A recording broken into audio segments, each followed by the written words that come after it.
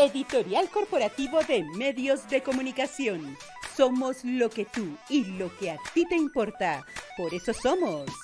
Somos Argentina. Somos Bolivia. Somos Brasil. Somos Colombia. Somos Estados Unidos. Somos Honduras. Somos México. Somos República Dominicana. Somos Venezuela. Somos para ti. Síguenos en nuestras páginas www.smsuperaciontv.com y www.smnoticias.com. Editorial Corporativo de Medios de Comunicación.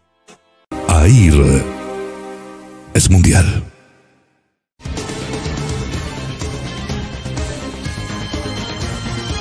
Editorial Corporativo de Medios de Comunicación presenta. Muy buenas tardes. Amiga, buenas, buenas tardes. amiga. Nuevamente aquí estamos a las, 2 de, la tarde.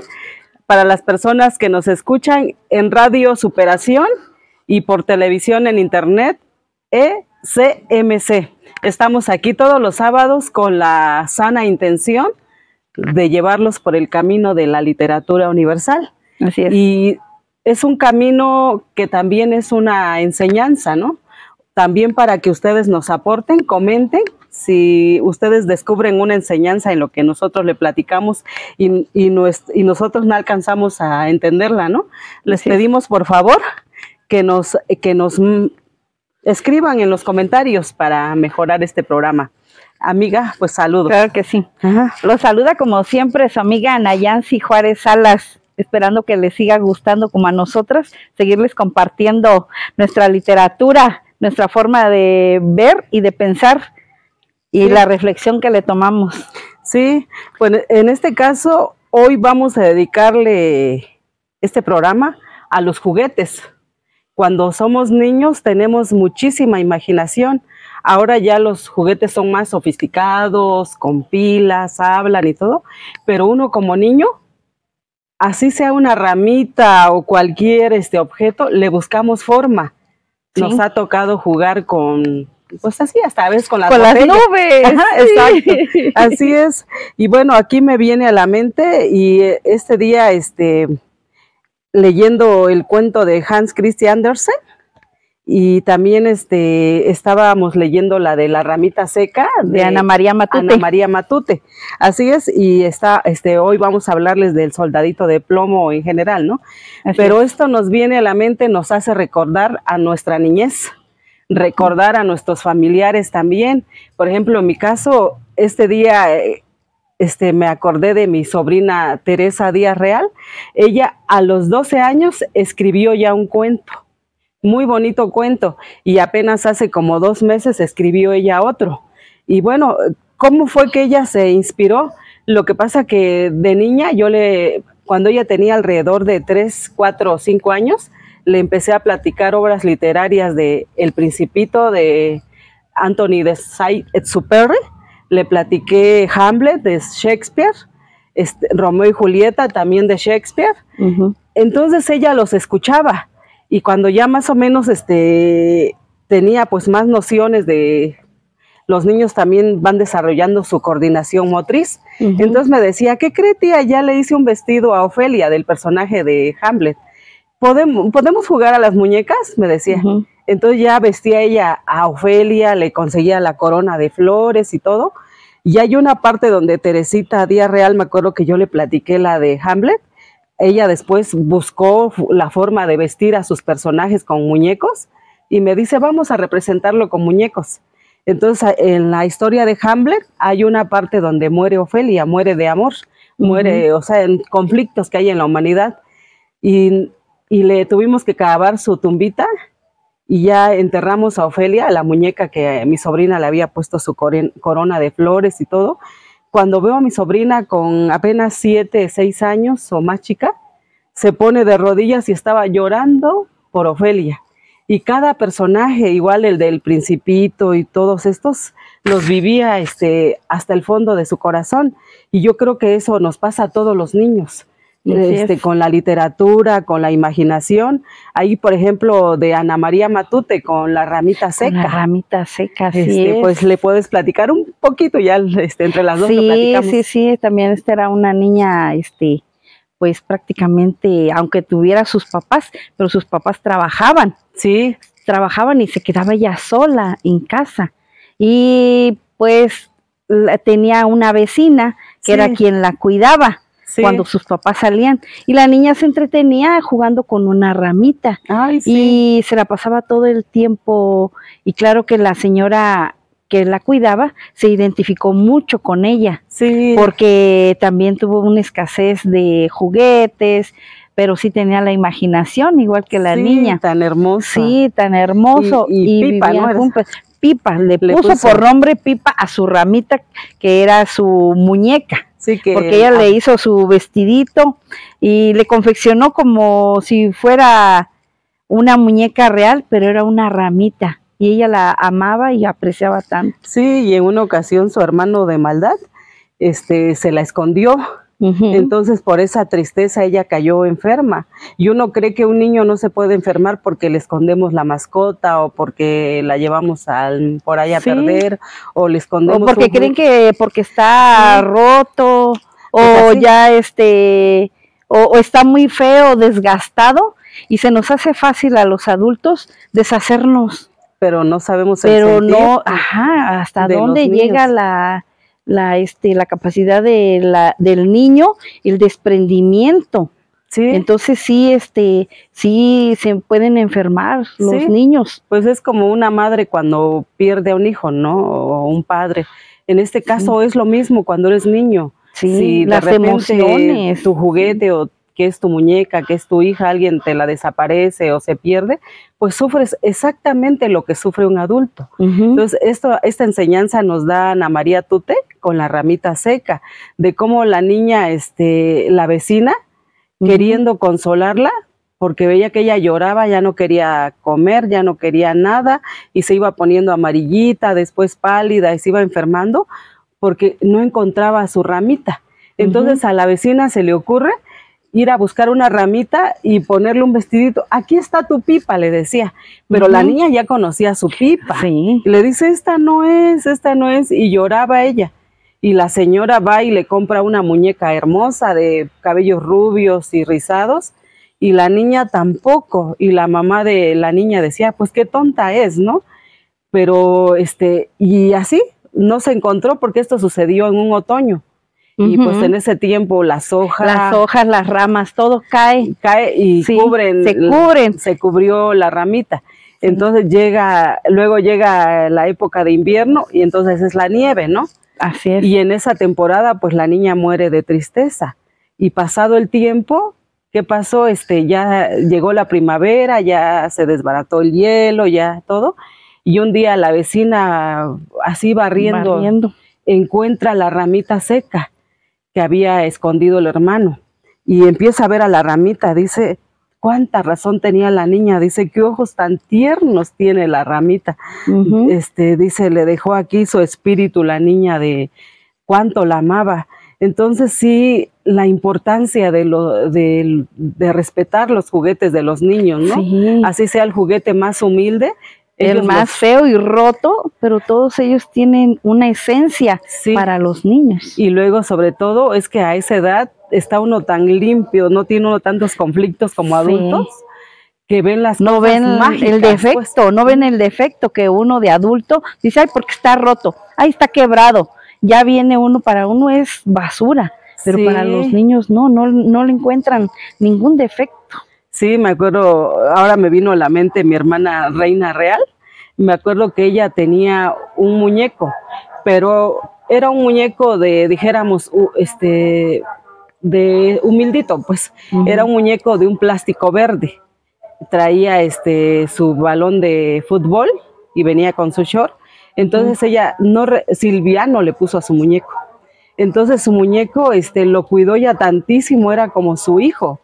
Y llega un momento en que se hace tan viejito su muñeco de plástico y se le hace un hoyito en la cabeza. Entonces ya no tenía cómo jugarlo y lo enterró. ¿Y cómo le lloró a su muñeco mientras lo enterraba?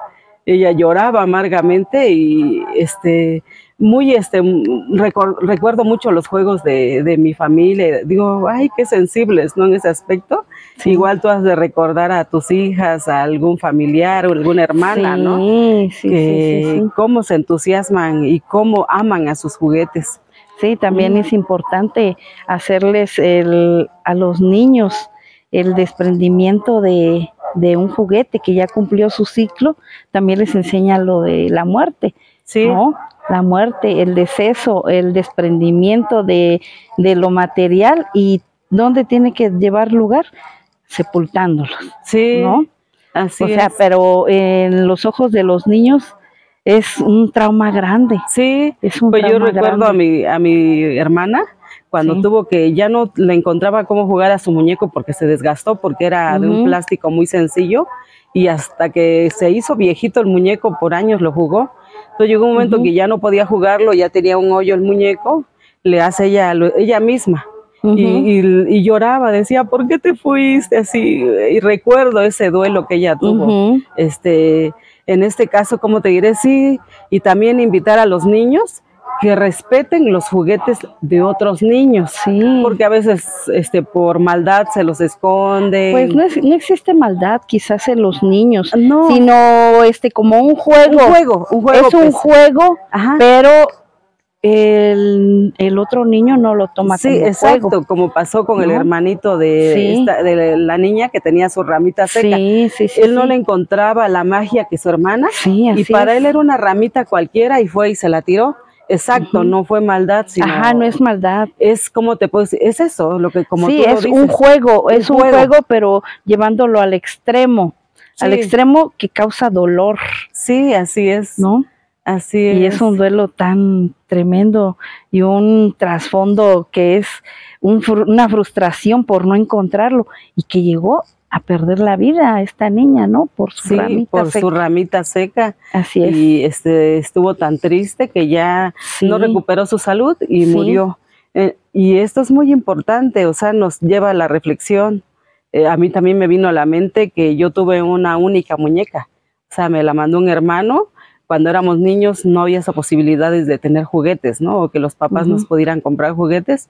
Hubo un hermano que me mandó una muñeca y cómo amé a esa muñeca hasta el final y, y la tengo así, o sea, y uno la recuerda como si hubiera sido una hija de cuando eras chica. Sí, ¿Tú recuerdas algún muñeco? Pues yo recuerdo que solamente en las cuando era este Día de Reyes, mis padrinos, mis padrinos de bautizo me hacían llegar una muñeca, me llamaban para decir, aquí llegaron los reyes, como Ah. te fueron a buscar y no estabas, acá llegaron, me decían, Ajá. y ya iba yo a, y era, cada año era una muñeca, cada año era una muñeca diferente, una muñeca diferente, pero yo quería una muñeca Barbie.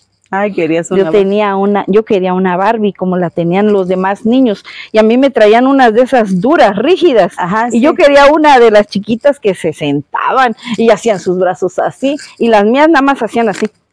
O sea, Bien levantaba. rígidas, así nada más el pie y no paraban el otro. Para mí eran rígidas, pero eh, imagínate con cuánto cariño mis padrinos Sí. se esforzaban por cada año. Sí. No sé cuántos años duró esa ilusión de cada año decía, no, ya van a llegar allá de mis padrinos. Sí. Pero yo seguía teniendo la ilusión de una muñeca Barbie. Ajá. Hasta ahora de adulta es cuando ya me la pude adquirir.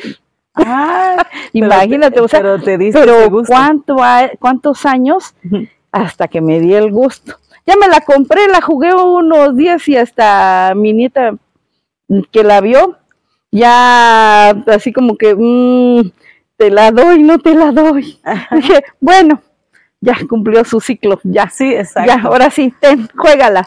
Ah, ya he ido a visitar a mi nieta y ahí la tiene ahí arrumbadita. Y digo, bueno, yo ya, Ya cumplí mi sueño, Sí, mi sueño de sí. la Barbie.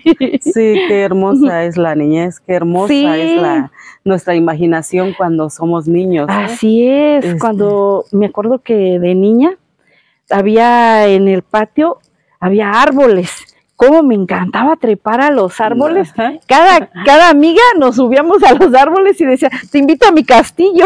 Ajá, sí. Ya nos subíamos a los árboles, ya decía, bueno, los invito a tomar el café. Bueno, vámonos y ya se subían a como podían al árbol. Me acuerdo que, que, este entre todas subíamos unas tablas para ponerlas que fueran el piso. Dios mío, ahorita ya de adulta digo, "Ah, antes no nos azotamos Sí. pero no lo piensa uno. O sea, hasta dónde llega uno que, que la imaginación eran nuestros castillos, nuestros palacios. Sí. Y veíamos así a la gente, según, ay, no, que pase el río, pase el arroyo, y, No, y sí. uno feliz. la imaginación de sí. nosotros, de cuando es uno niños, ay, qué hermoso es. Ojalá nunca perdiéramos esa magia tan bonita. No dejemos de ser niños, nunca. en este disfraz de adulto. Así es. Pues, vamos a platicarles el cuento de El soldadito de plomo. Sí. Este cuento lo escribió Hans Christian Andersen. Este, es- este señor tan lindo, qué hermosos cuentos escribía. Así es. Y bueno, este, el soldadito de plomo, de- se han hecho también películas, se han hecho series en caricaturas para los niños, obras de teatro. obras de teatro. Pero yo siempre he dicho, amiga, que es mejor que leamos el libro, porque en una película siempre le cortan a veces la esencia más hermosa, que es la parte de la enseñanza, la parte del alma que te llega a la enseñanza tan bonita, o a veces aumentan personajes o quitan personajes. Así y no, es. por eso siempre les invito que si Le van a ver este, una película o alguna serie, así, pero también lean el libro. Entonces, vamos a platicarlo. Es un cuento muy pequeño, Muy corto, muy pero corto, muy pero sustancioso. sustantio- sustancioso, exacto. Pues vamos a empezar. Pues eh, el cuento empieza que hay una cajita, una cajita blanca, este, con 25 soldaditos. Todos los soldaditos son iguales, todititos, ¿eh? Están en una cajita blanca. ¿Por qué son todos iguales? Porque fueron hechos en el mismo molde, era un molde de estaño en el que habían hecho los soldaditos.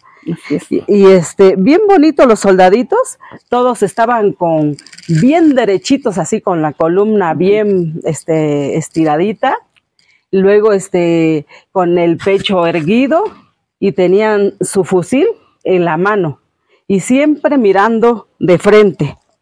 Pero hay algo que llamó la atención. Estos soldaditos todos estaban vestidos del mismo color, de rojo y de azul.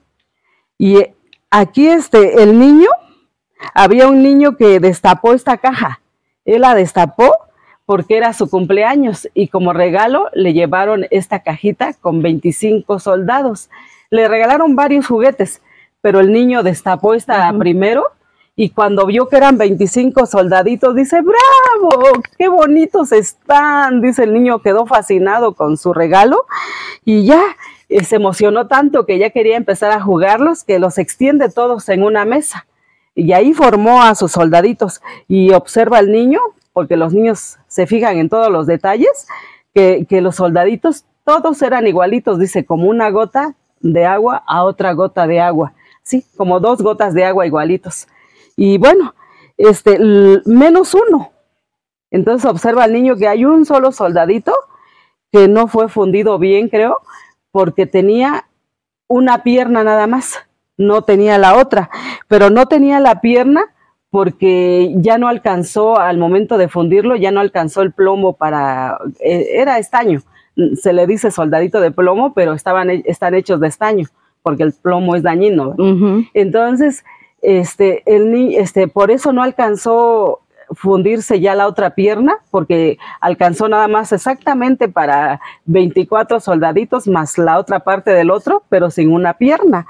Y bueno, este, pero aún así, el niño le encantó este soldadito y, y lo quiso igual que a los demás, incluso hasta le prestó, creo, más atención, que dice, ¿cómo es posible que este soldadito perdió su pierna en una batalla?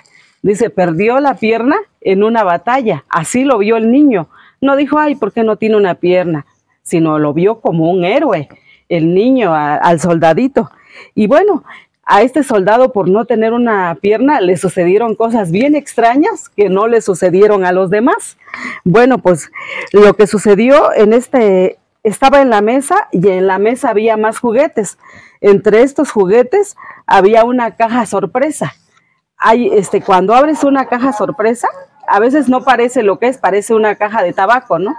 Pero la abres y encuentras un juguete en, en, forma de muelle, dice. Son así que tienen una cabeza y después de la cabeza tienen como una espiral de alambre.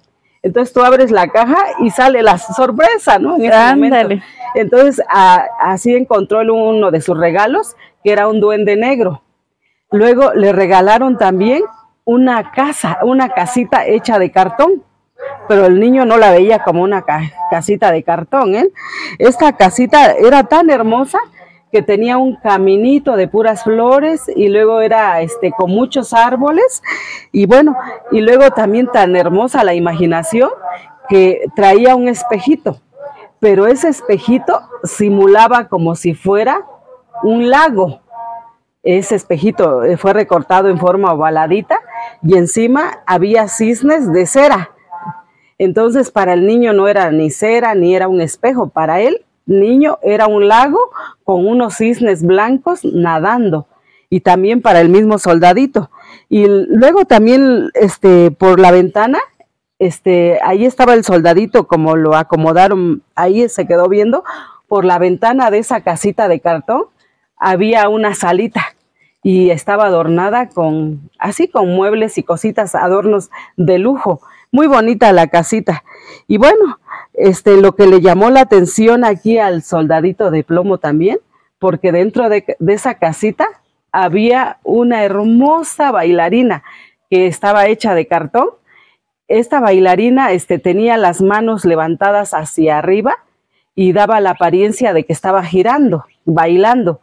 Y, y, con una, la rodilla derecha la tenía doblada y el pie hacia atrás. Entonces daba la apariencia que la bailarina no tenía una pierna, pero la tenía flexionada porque estaba haciendo un paso de baile. Bueno, estaba eh, tan hermosa la bailarina, aparte de tener un vestido muy bonito, tenía en su cuello una, este, ¿cómo se puede decir? Un chal, un chal, este, azul. Una mascada. O como mascadita, ¿no? Una mascada azul y en su pelo tenía una flor amarilla de lentejuelas. Y bueno, cuando la ve el soldadito, pues quedó enamorado. Y, y, como él creyó, el soldadito, él creyó que la bailarina no tenía una pierna igual que, que él. Entonces él dice, esa mujer me conviene, porque me va a entender, ella tampoco no tiene una pierna. Pero al mismo tiempo se puso bien triste. No, dice, pero ella vive en un palacio. Él vio su casita, el soldadito, como un palacio porque sí daba la apariencia de ser un lugar muy bonito, quien diseñó ese juguete, ¿no? Dice, uh -huh. no, ella es rica, ella es de abolengo, ella tiene dinero, y yo que no tengo nada que ofrecerle. Yo lo único que tengo, dice, es una cajita blanca, donde es casi como una cajita de cerillos, dice, donde vivimos, 25 hermanos, todos iguales. ¿Y cómo voy a llevar yo? ¿A dónde la voy a llevar a vivir a ella? Yo no tengo un lugar, yo no tengo un lugar digno para que ella viva. Entonces puso al mismo tiempo, se puso triste el soldadito. Pues, ¿qué hizo? Lo que pasa que, pues aún así, con su tristeza, no perdió la esperanza de que tal vez la bailarina le hiciera caso a pesar de no ser el de abolengo y de vivir en una cajita tan pequeña y, y todos amontonados en esa cajita, ¿no? Entonces en una noche el niño dejó de jugar y este, tenía esa sana costumbre el niño de terminando de jugar, guardar todos sus juguetes y acomodó a los 25, a los 24 soldaditos dentro de la cajita. Pero al soldadito de plomo que no tenía una pierna, lo dejó sobre la caja sorpresa. Esta caja sorpresa parecía una caja de tabaco, ¿no? Entonces eso creyó también el soldadito y lo dejó ahí este, sobre esa cajita, pero aunque no tenía una pierna, se mantenía firme el soldado, mirando siempre este, de frente y bien este, con, una ¿cómo se dice? Un porte muy gallardo. Estaba ahí el soldadito y lo deja. A él le dio gusto que lo haya dejado eh, su, el niño sobre esta caja porque desde ahí podía ver a la bailarina, la podía ver y ahí estaba contemplándola, pues en la noche los juguetes dando las 12 de la noche, todos empiezan a recobrar vida. Este, todos los juguetes estaban ahí jugando por todos lados, haciendo su escándalo, y de repente donde estaba el soldadito parado, pues lo avienta algo y sorpresa dentro sale el juguete en forma de muelle, así como este de Resorte. resorte. Era un enano que nada más tenía una cabeza negra y de su cuello salía el resortito, el, este, el alambre en forma de resortito. Y sale el enano de este lugar y lo avienta. Pero afortunadamente volvió a caer de pie el soldadito y el enano se empieza a burlar de él. Ay, sí, dice, estás enamorado de la bailarina, pero ¿crees que te va a hacer caso a un pobretón como tú? Y le empieza a decir el, el juguete. Bueno, era tanto el escándalo que había que dice que sus hermanitos, los demás soldaditos que estaban en la caja, se retorcían y querían salir a jugar. Pues ya, llegó, este, llega la mañana y ya, pues, este, lo que pasó es que, pues ya, este, los juguetes, en cuanto sale el sol, ya nuevamente se vuelven rígidos y todo, ¿no? Entonces, ¿qué pasó? El, la sirvienta, la, sirvienta de la casa donde vivía el niño, el dueño de los juguetes, este, llegó y empezó a hacer el aseo. Entonces ella se va a la recámara del niño y encuentra al soldadito de plomo. Lo encuentra y lo pone en así, en la orilla de la ventana. Ahí lo pone este, para seguir haciendo lo que es la limpieza, ¿no? Pero en eso aparece el enano negro, y creo que fue él, y sopla bien fuerte, y con, pues, con este aire, el pobre soldadito cae por la ventana, y ahí viene, ahí viene cayendo desde un tercer piso, ¿eh? Viene, y ya, pues llega, cae sobre dos piedras, por un lado su fusil, y pues ay, el, y por un lado su gorra que usan ellos, y bueno, los soldados, ¿no? Este, porque tienen como un, no sé cómo se le llama esta gorra que usan los soldados, pues se le cayó la gorra y todo. ¿Y qué pasó? Este, el- la sirvienta y el niño bajaron el tercer piso y se van hacia la calle a buscar dónde estaba el soldadito, porque el niño quería muchísimo a su héroe, a su soldadito que había perdido una pierna en la batalla. Entonces, este, por más que lo buscaron la sirvienta y el niño, no lo encontraban. Y este, y lo único que se podía ver entre el, entre la, pues la nieve, ¿no? Era la pierna rígida de, la única pierna se veía, pero la, la, este, la sirvienta y el niño no lo vieron. Y él les quería decir, aquí estoy, este, rescátenme. Pero los soldados no pueden hablar, está prohibido que hablen cuando tienen una arma en las manos. Y él respetaba muy bien su código como militar. Entonces no dijo nada, pues se fue la sirvienta y ya este, en eso empezó a llover, todavía empezó a llover ¿eh? y lo arrastró más todavía el agua al soldadito de plomo y ya, más tarde ya de que llovió, ya salió el sol nuevamente, ya volvió, volvió a alumbrar y todo. Y en eso iban pasando por ahí unos niñitos y logran ver al soldadito de plomo. Lo vieron. Mira, dicen los niñitos, y siempre los niños con una imaginación igual, ¿eh? No dijeron, este soldado, es- este juguete no tiene una pierna, no sirve, ¿no? Mira, le dice uno al otro, un soldadito, un héroe que perdió su pierna en una batalla. Este, vamos a llevárnoslo, dice. Y estaban ellos haciendo un barquito de papel. Entonces lo suben al barquito de papel. Pues ahí empezó nuevamente con la brisa y el viento. El pobre barquito, allí va el soldado en el barquito, allí va eh, con el viento y todo, este, pues se balanceaba de un lado para otro el barquito y empezó nuevamente a llover y pues ahí va. Y el barquito pues se iba mojando poco a poco. Pues tienes la palabra, amiga. Bueno, ya que iba el soldadito así muy firme, en el barquito de papel y firme el soldadito y el barquito de papel se iba para acá, se iba para allá, se iba para acá, se iba para allá, hasta que topa en una piedra el barquito y a lo lejos sale una rata. Alto, ¿por qué andas por aquí? ¿Dónde está tu pasaporte? Aquí solamente pueden pasar los que traen pasaporte. Su código de silencio no puede permitir dar ninguna nada de, de seña ni decir nada porque el código militar le prohíbe hablar con la gente. Silencio y bien paradito estaba en el barquito. Y se viene la corriente de agua y ahí va otra vez, se zafa de la piedra. Deténgalo, dice la rata, deténgalo, no me ha dado el pasaporte, no me ha dado ninguna información. Y el soldadito bien prendido en, el barquito de papel y bien agarrando su fusil. Y ahí iba, y ahí iba, iba acelerando, el caos iba acelerando. Estaba dentro del drenaje y veía todo oscuro. Dice, esto está oscuro. Está más oscuro que mi caja, donde están mis hermanos y se seguía moviendo y se seguía, y a lo lejos vio la luz. Oh, esto se está aclarando mucho, ya veo la luz del día. Yo creo que ya es de día.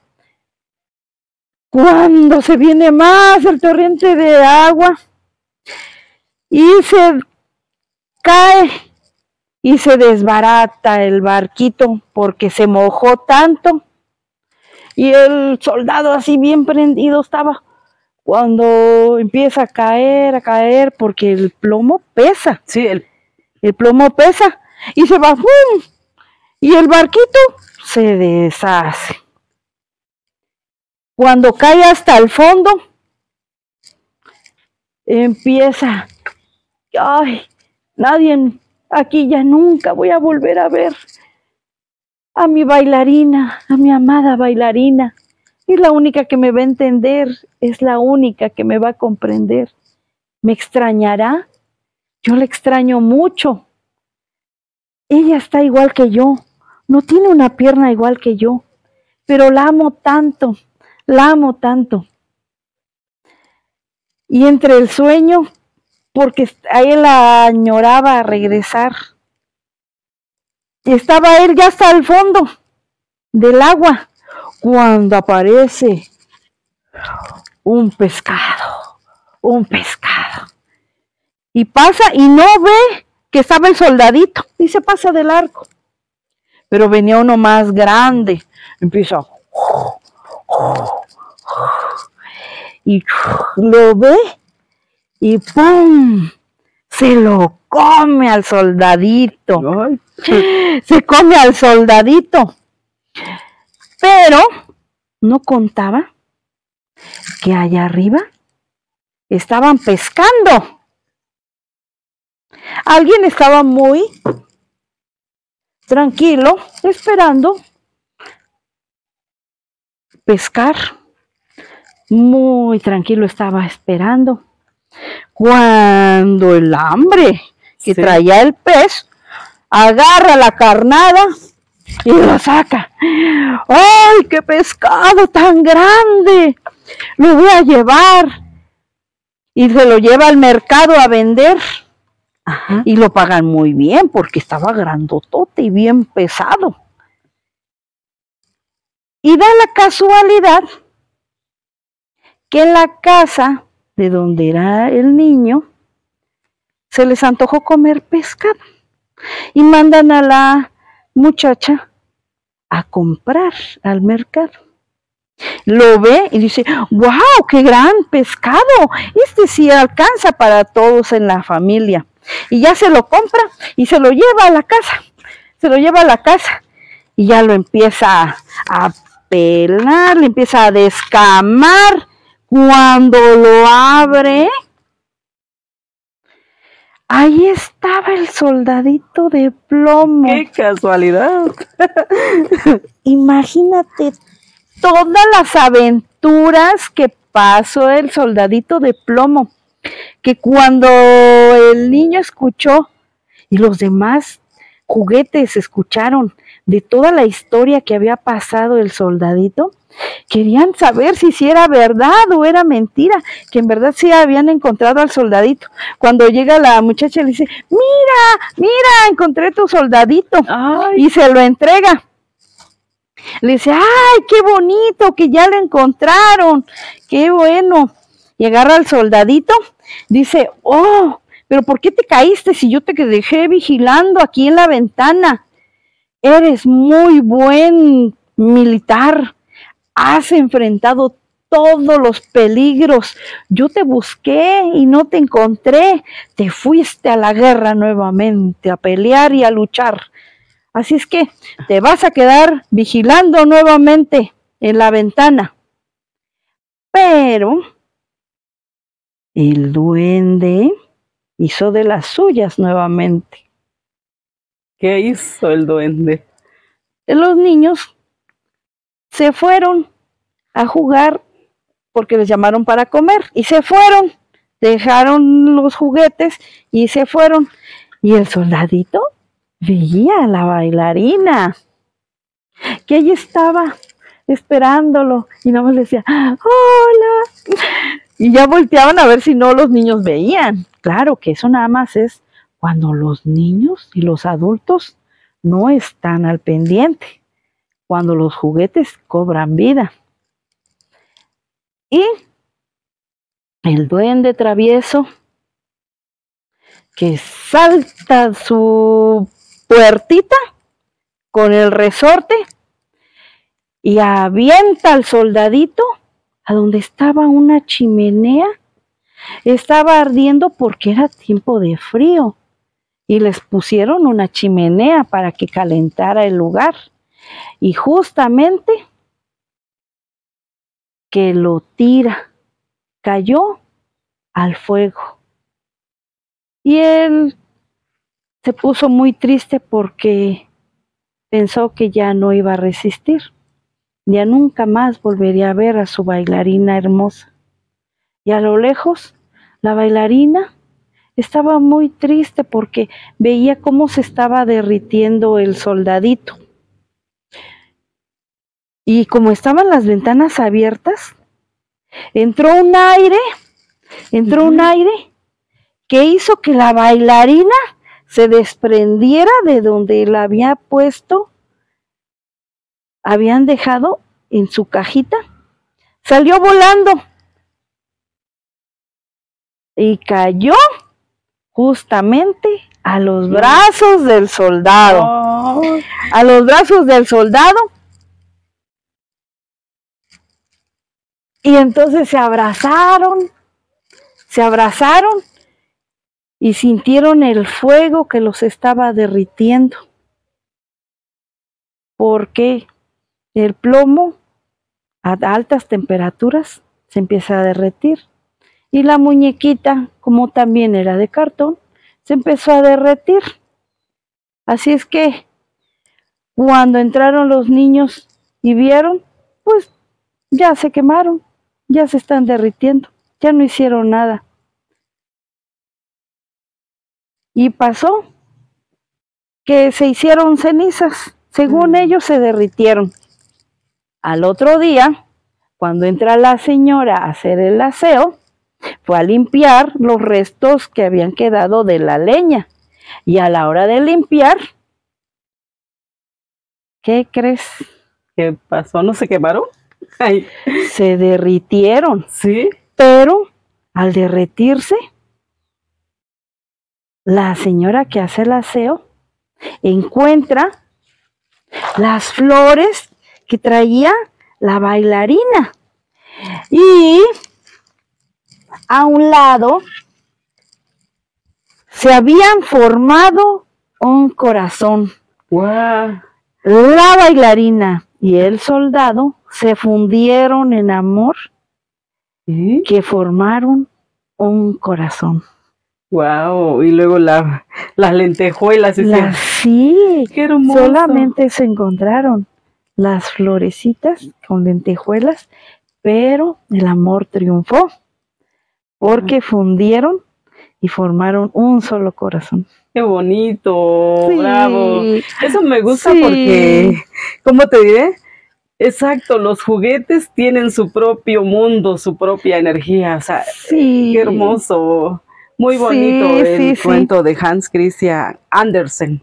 Pues los invitamos, amiga, a que lean este, este cuento este, de Hans Christian Andersen, El soldadito de plomo. El soldadito de plomo. Muy bonito y gracias, amiga, por, sí, por esa imaginación para platicarlo. sí, muy hermoso. Y que todos los demás no vieron el defecto, porque no es un defecto, no, es un defecto. Hay personas que así nacen también Sí, y son iguales que todos, así es. iguales que todos, todos tienen el mismo derecho a la vida, Y luego como los niños con capacidades diferentes. los niños jamás dijeron es un soldadito inválido, ellos dijeron es un héroe. Es un héroe. Es, es un héroe. sí. Y así lo vieron y, y fue al que más atención le prestaron. Qué hermoso Sí. cuento. Pues muchísimas gracias a todas las personas que nos están viendo en ECMC y que nos escucharon hoy en Radio Superación. A sus órdenes, Leticia Real Vázquez. Eh, Fue un gusto para mí haber hablado de este hermoso cuento el día de hoy y nos vemos dentro de ocho días. Primeramente, Dios los saluda, como siempre, con mucho cariño, su amiga Anayansi Juárez Salas. Espero que les haya gustado y por favor sigan leyendo.